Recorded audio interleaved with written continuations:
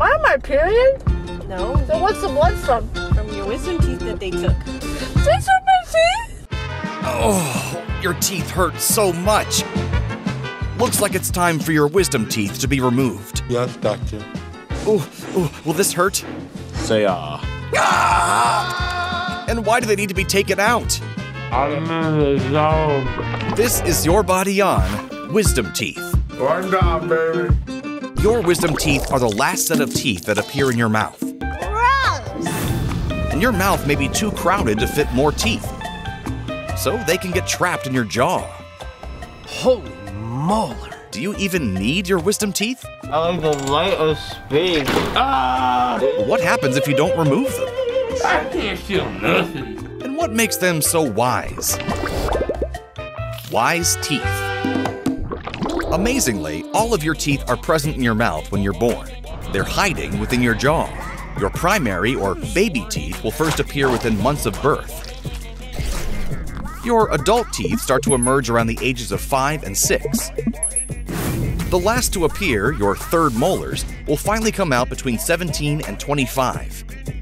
Yeah, close. They're called wisdom teeth because it's assumed that now that you're an adult, Tell me all about you. you should be wiser than you were as a child. I like business. They were once necessary for eating raw foods, but have become somewhat obsolete since humans began cooking whatever they put in their mouths.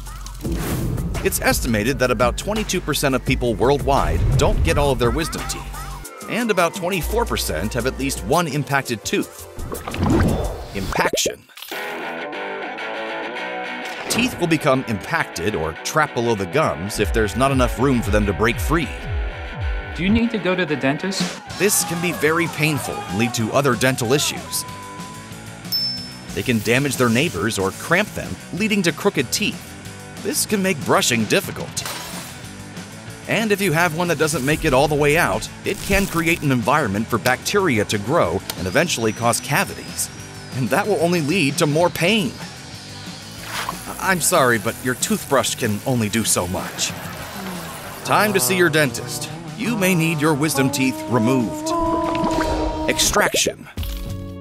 Today, dentists only recommend removing your third molars if they're causing issues. Do whatever you need to do, Doc. It's likely you'll only need an injection of local anesthesia to numb the area before extraction. Then the offending tooth will be pulled out by your dentist. It might come out easily, but it'll likely require some careful yanking and wiggling to free it from your mouth. You'll hear it more than you'll feel it, but you will notice pressure as the tooth is rocked back and forth. Ew, just talking about it makes my mouth ache. If a wisdom tooth hasn't completely emerged, you may need surgery to remove it. But don't worry, it usually requires nothing more than a small incision in your gums.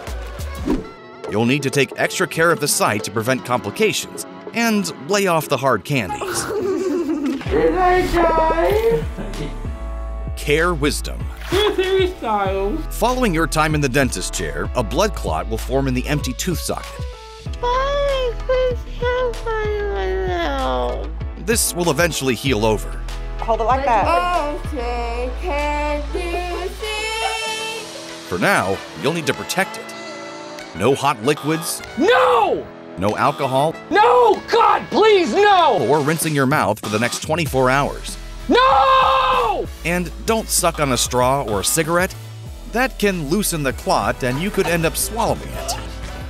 Yuck. You may suffer from swelling, redness, and some aches for the next few days. That's what I look like? Oh, God. Ice packs and painkillers will help with this. As all this is underway, make sure to eat softer foods for the first day or so. I can't eat ice cream. Most people don't have complications from oral surgery, but you could suffer from fever, facial numbness, or infection.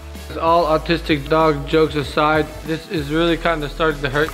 These all require a visit to your doctor. With proper care, recovery should take no more than three to four days. It hurts, but I'm persevering. Not taking care of your teeth can cause all sorts of problems.